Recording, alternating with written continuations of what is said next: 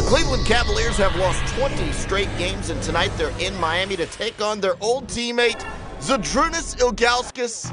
And of course, that man right there, LeBron James, number six in Miami. Byron Scott trying to get his Cavaliers out of this funk in the first quarter, watching the former Cavalier. That's right, it's Ilgauskas with the block on one end, and Dwyane Wade going the other way with the floater on the other. The Heat up early, 14 to 6. Later in the first, it's LeBron James working his way in. He misses, but look who is there. Dwyane Wade just skying for this one, climbing in amongst the trees and throwing that one down. He was 13 of 21 on the night. Still first quarter, LeBron in the post, and yeah, that's a little closer. He can knock that one down.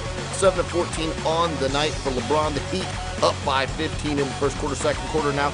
Alonzo Gee loses the ball, and JJ Hickson finds it and throws it home. He had 14 points, nine boards. Then it's Dwyane Wade playing the passing lanes like he loves to do. And on the other end, yeah, it's an easy jam for Dwyane Wade, and the Heat in control 52-33. How about Wade with the step back triple?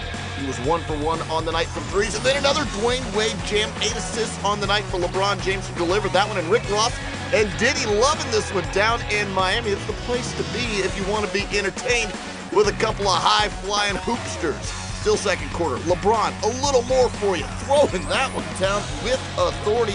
LeBron and Miami cruising in this game over the Cleveland Cavaliers. They're up 61 44 in the second quarter. How about a little more? This time hustling, though, it's the Cleveland Cavaliers. And on the other end, Manny Harris outruns LeBron and gets the jam. He didn't dunk on him, he dunked past him.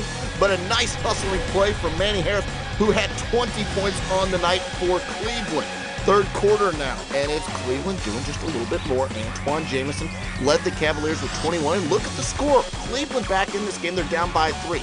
It's 75-67 now, and Dwyane Wade, look at that move, just missing. There's Zydrunas Ilgauskas for the tip in Miami, up by 10, and LeBron, yeah, he can get it done as well. Powerful move inside for LeBron, who had 24 on the night. Less than 20 seconds to go in the third, and it's Miami in control now. Fourth quarter, Chris Bosh gets in the act. He had 10 points playing on that sore ankle. Miami up by 20, 92 72. And then Dwyane Wade working again, hustling on the floor, recovers the loose ball, that just heads down the court, flying through the defense. And sharing now are the Heat. Eddie House clutched yesterday in Oklahoma City, gets the three to go here in Miami, 97 74. Then Mike Miller finding Dwyane Wade, puts a little punctuation on this thing. He finished with 34 points on the night, and the Heat cruise over the Cavaliers. They take this one 117 to 90.